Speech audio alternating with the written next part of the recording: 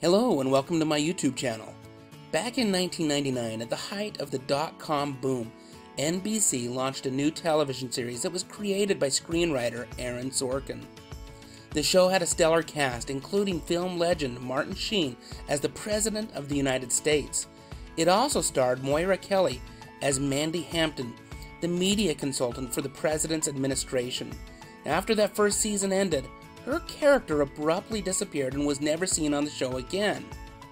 In this video, I'm going to look back at Moira Kelly's career leading up to her stint on The West Wing, also discuss what led to her abrupt departure from the show, and what she's been doing more recently.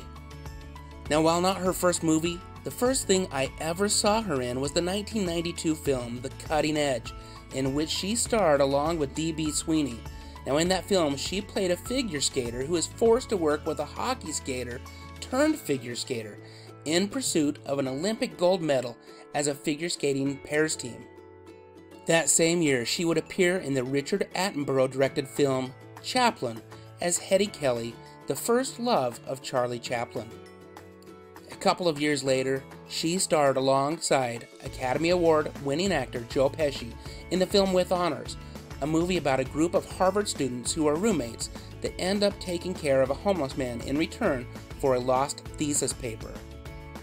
Now, also in 1994, she provided the voice for Nala in the Disney animated classic The Lion King.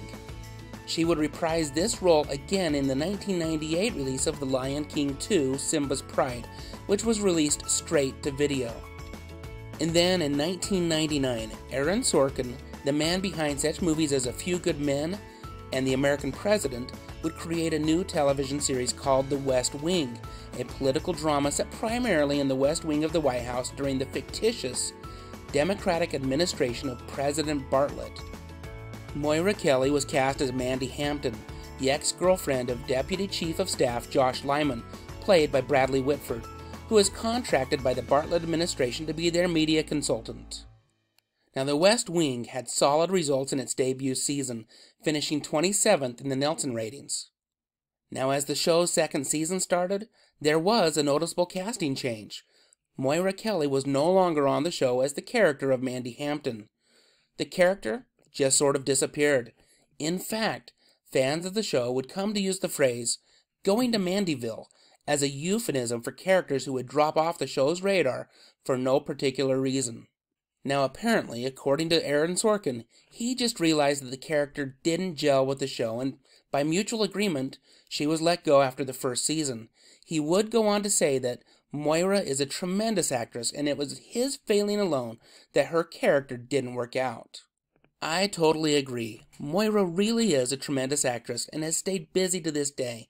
In fact, it wasn't long after West Wing that she landed the role of a single mother, Karen Roe, on the teen drama One Tree Hill, a role that she would have for the first six seasons of the show. And most recently, she has been in the Amazon original series Panic.